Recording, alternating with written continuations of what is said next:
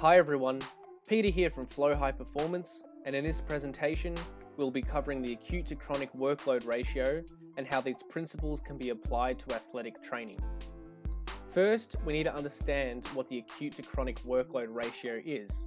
Essentially, it is a ratio between how much workload has been done in the last seven days versus the average weekly workload that has been performed over the previous 28 days.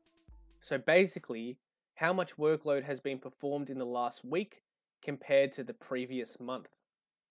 For example, let's say an athlete ran 30 kilometers in the last week, and in the previous four weeks, they ran 25, 30, 32, and 27 kilometers respectively. So the average weekly distance ran over those previous four weeks would equal 28.5 kilometers. So the acute workload is 30 kilometers and the chronic workload is 28.5 kilometers. The acute to chronic workload ratio would therefore be 30 to 28.5, giving a value of 1.05. In other words, the athlete did 105% of the workload in the past week than the average of the last four weeks, which is an increase of 5%. Most of the research on the acute to chronic workload ratio has been done in field sports using distance as a measure of workload.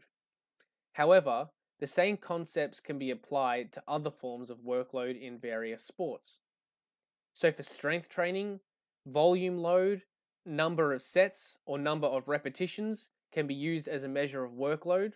Number of pitches or hits can be used in throwing and hitting sports like baseball or cricket.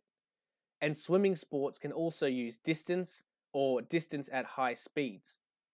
Whatever the sport is, the acute to chronic workload ratio can be used.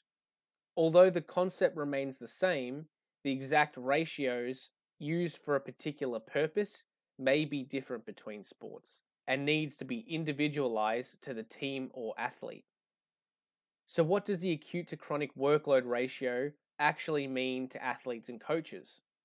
Well, what they have found with research is that when we have spikes in workload, we tend to have an increased risk of injury. That is, when our acute workload is much higher than our average chronic workload, we are more likely to get injured during that period of increased workload. This study was conducted on elite rugby league players, where workload and injury rates were recorded over a season.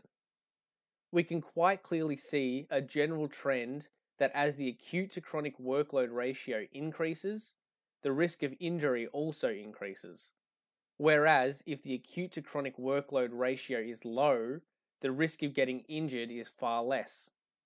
To visually represent this idea, take this made up graph with the workload of two athletes. Athlete A in the blue line has a very smooth and gradual progression of workload over 12 weeks.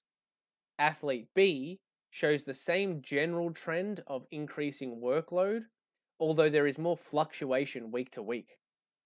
Athlete A will have a fairly low acute to chronic workload ratio throughout the 12 weeks and therefore won't have a very high risk of injury. Athlete B sometimes has a low acute to chronic workload ratio, but also has periods with a very high ratio. For example, at week 7, there is a big spike in workload after the previous four weeks had quite a low workload. Therefore, this athlete is more likely to get injured during this week. So, the take home message from the acute to chronic workload ratio is to progress training gradually over time and to ensure that we avoid sudden changes in workload to minimize injury risk. Thanks for watching and hopefully you got something out of this video. Remember to subscribe if you haven't already.